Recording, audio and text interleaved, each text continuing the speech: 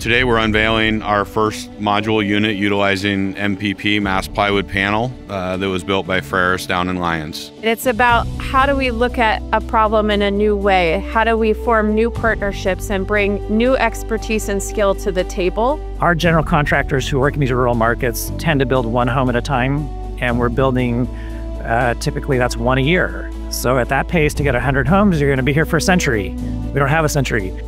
And so I'm really, really excited to be standing in front of an actual constructed building.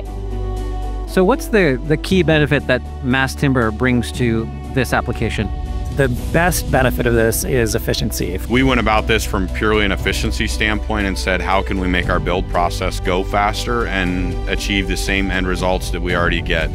Utilizing the MPP, working with our engineer and our design team, we were able to build this unit in a sixth the time that it takes us to build a conventional unit.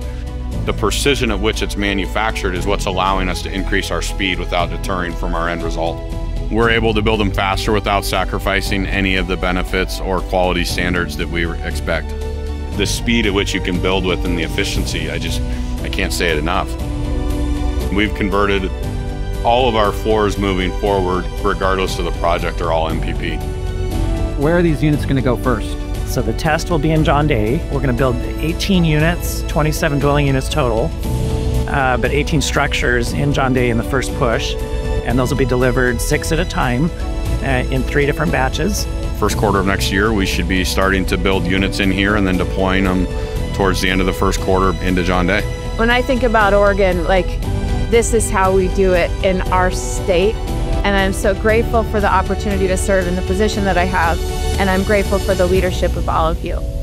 Very exciting, isn't it? This is this is the future of housing if we're going to solve the problems. So hopefully we can get there. Sure looks that way.